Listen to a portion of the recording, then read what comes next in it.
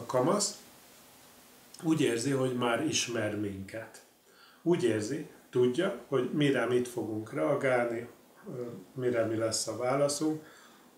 Ez azonban sokszor nem a mi a, a szülő valós ismerete, tehát nem arról szól, hogy a kamasz tudja, hogy a szülő mit fog erre válaszolni, vagy hogy fog reagálni, hanem egy séma, egy olyan berögzült, berögzült valami, ami arról szól, hogy hát a szülők ilyenek, hogy a, a felnőttek ilyenek, stb. stb. És ez meg micsoda? Hát az, hogy, a, hogy ugye mit csináltunk eddig, amíg felnőtt a kamasz állapotig, tanítgattuk törvényekre, szokásokra, viselkedésmódokra, ezt majd egyébként mindjárt folytatjuk is.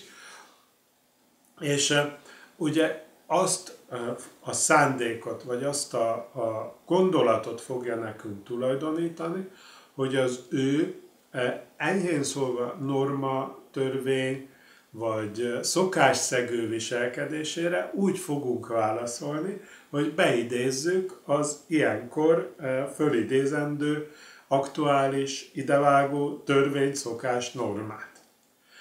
A, mi ebből a kiút? Hát az, ami a legkezdettől, hogy játszunk vele. Hogy mindig fölcsillantjuk annak a lehetőségét, azt az értelmezési tartományt, hogy mi van akkor, hogyha túllépünk egy normát, mi van akkor, hogyha ha megszegünk egy szokást, mi van akkor, hogyha a törvények határain táncolunk. Mert akkor a gyerek tényleg kíváncsi lesz a, a válaszra, nem a belőlünk sugárzó e, ilyen ilyen kinyilatkoztatást fogja rettegni, hanem az igazi, együttérző, ölelő szeretetet várhatja.